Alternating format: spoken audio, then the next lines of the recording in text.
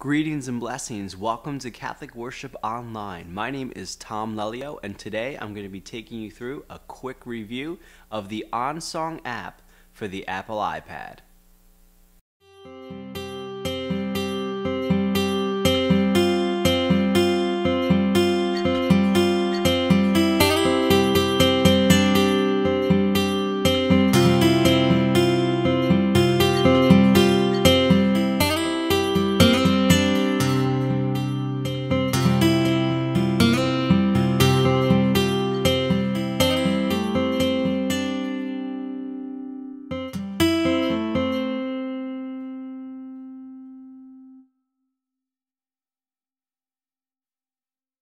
Okay, so the first thing I want to show you guys is how OnSong solves the problem of no longer having to carry around these huge binders of sheet music, um, possibly losing some of your sheet music and just having this this big thing to cart around all the time. So let's open the app,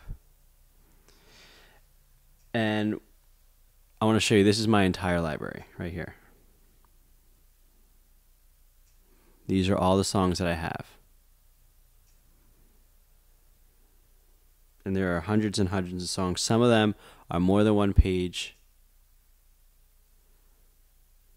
So there's all the songs, and it's as easy as just picking a song. And there it is.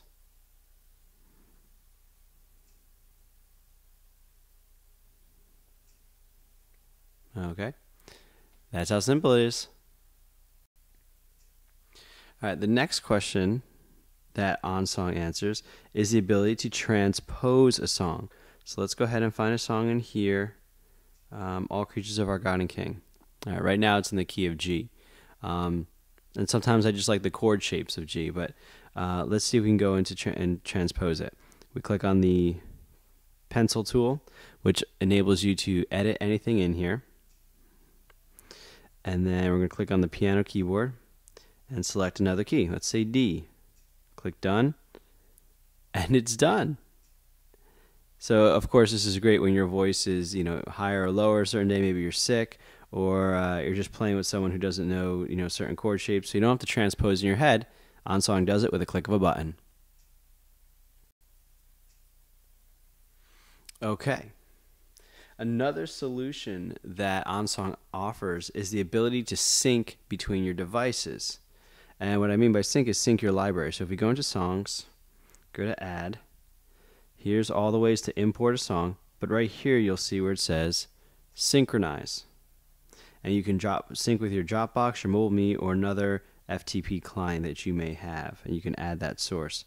But what's awesome is when I go into my Dropbox account, here are all the songs that I can rest assured are synced on my Dropbox, and they have different arrows here you know, depending if you need to upload them or download them. Um, but now what I could do is I can go to my Dropbox and they're all there. Or if I have to get a brand new iPad for some reason, um, or one of the band members gets an iPad, uh, they can use my Dropbox um, to get the library from them. And I don't have to do anything. I don't have to send them all the, the, the files and stuff like that. They just log into Dropbox and now they have all the all the music. Okay, another awesome feature of OnSong is the ability to use a Bluetooth pedal. So let's take a look.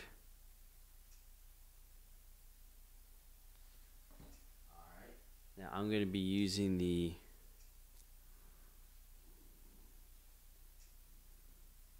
the AirTurn BT105 and uh, I mean it's pretty simple. Just click the pedal and it switches from sheet to sheet.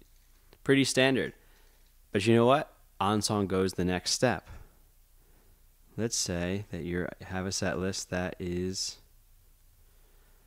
Notice how the song continues to go down. Well, what do you do? On most pedals, you're sunk. But with iPad, I'm sorry, OnSong, it scrolls down for you. And then it goes to the next sheet. See how it scrolls down? And then if it doesn't have to, it'll just go to the next song. But you can scroll down, scroll back.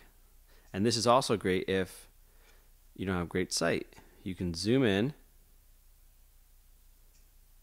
just like that. and then OnSong will just scroll down for you throughout the song. So again, this is where OnSong kind of separates itself from the pack and goes the next mile. All right, so the next thing I want to show you is how easy it is to import songs. We're just going to go to the Songs tab, click Add, and either I can add a new song and just begin typing away, okay, or we can look for existing songs to add.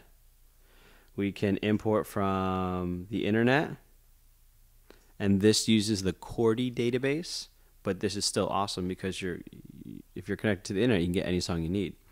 You can use Song Select by CCLI if you have an account. And this is awesome. Uh, the only difficulty with the Song Select um, import feature is that it imports the, the chord sheets as PDFs.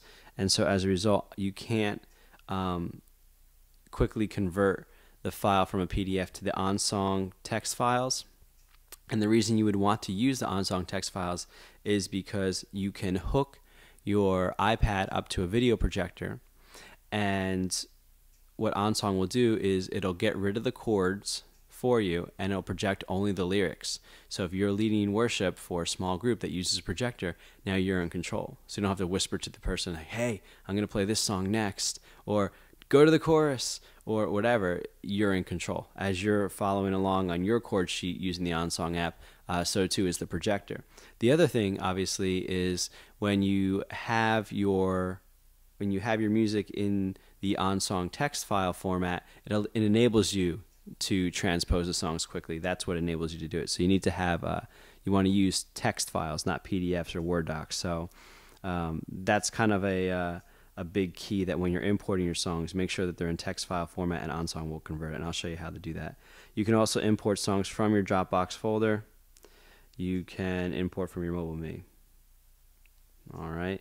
So uh, let me just show you real quick. What you can do is if you have a song like "There's No One Like You," um, you know, originally it looked like this, and you can click the convert file, and it'll change it to the on uh, on song file. You might have to go back in and and tweak some things, but for the most part, it's it's pretty, you know, it just kind of works. So.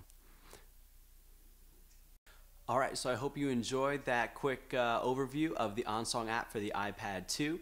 Uh, be sure to check out the full review at catholic-worship.com. Also, the developer Jason from OnSong was kind enough to give me a couple of free promo codes uh, for the app. So if you're interested in downloading the app, um, go to the website catholic-worship.com and send me an email and if you're one of the first persons to do that and I still have some left, I would be happy to share that with you, courtesy of Jason, the developer for OnSong app and the Catholic Worship blog. God bless.